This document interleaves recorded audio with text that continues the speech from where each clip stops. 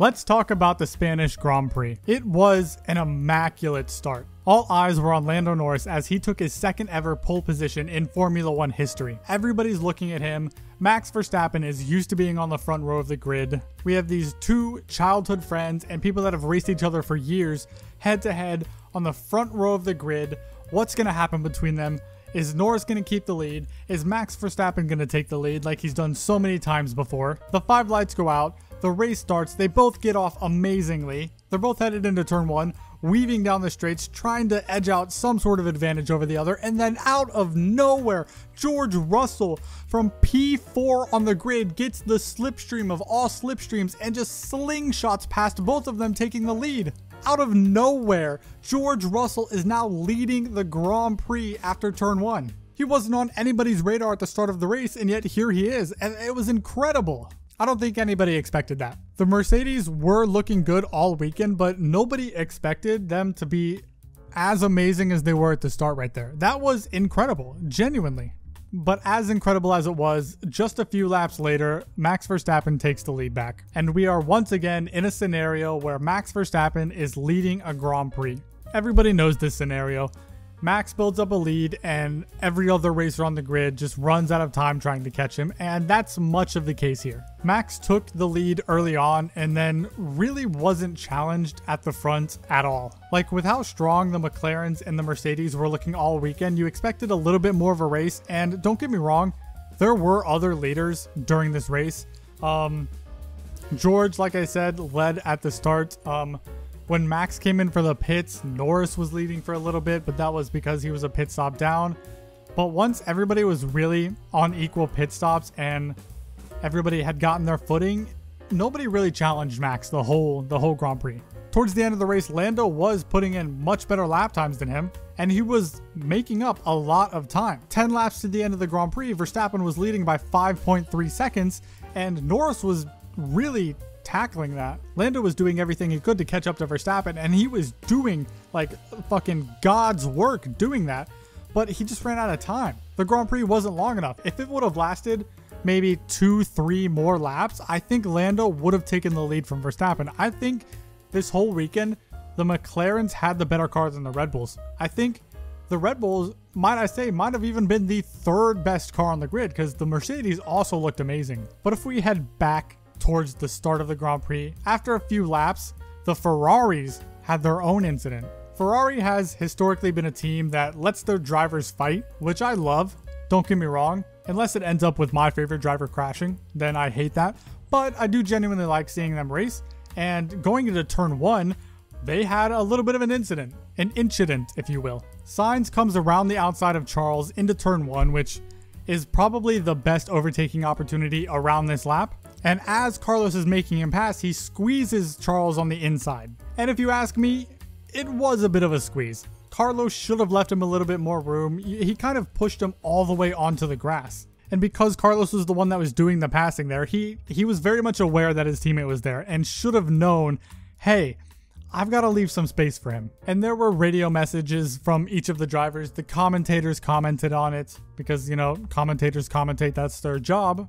And if you ask me, in my professional stewardess opinion, realistically it's a racing incident, but because I like Charles more than I like Carlos, I'm going to say it's a 15 second time penalty for Carlos. Moving on, George Russell comes into the pits and we see a big puff of smoke, and that's because he locked up coming into the pits, and that was not a rare occurrence this whole weekend. Almost every driver, when they came into their pit stop, was locking up. I don't know if it has something to do with the track or if every driver was really trying to maximize their entry speed into the pits, but so many of them were locking up almost nobody got a penalty for speeding in the pit lane except for Nico Hulkenberg, who got a 5 second penalty, which is really unfortunate for him because he ended up finishing the race in 11th place. Now, granted, he was more than 5 seconds away from 10th, but maybe if he didn't have that penalty in the back of his mind, he would have pushed a little bit more to maybe try and make that place up. But like I said, almost every driver was locking up coming into the pits, and I'm surprised not more of them got a penalty.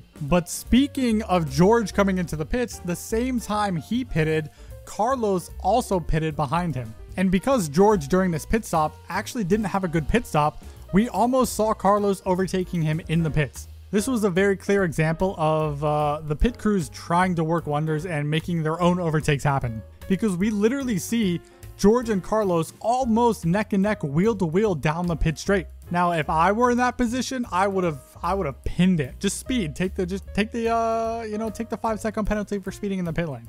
What's George gonna do? Speed too? You'll you'll gain five seconds in the pit lane. Just just risk it, you know. But yeah, I think George is really lucky to have gotten away with still holding on to the lead from Carlos because if his pit was literally a tenth of a second slower, two tenths of a second slower, he would have lost that position. But yeah, most of the frontrunners at this point have pitted except for Lando and Charles. Lando and Charles decided to extend their first stint for a little bit, which I am a big fan of. I am a fan of long stints. I think they work wonders, but this particular time, I think they were losing a lot of time. I don't think it worked as well as they wanted it to, but I, I like that they went for it. I think maybe if they would have stayed out even longer, they could have cut an entire pit stop off of their strategy and they could have made something work. It might have worked out. Who knows? They didn't do it.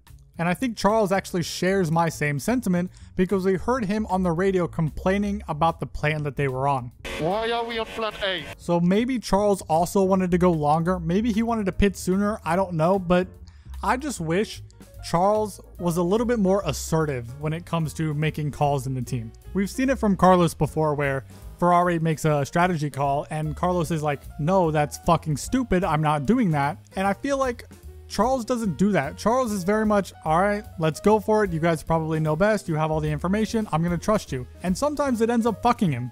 I know Charles is a great driver. He's better than I'll ever be. And the strategists that these teams are smarter than I'll ever be. But I just wish Charles would have a little bit more pushback. Like just be be your own man, you know? Like push be assertive, make your own strategies, make your own calls for once. Because sometimes it might work out for you.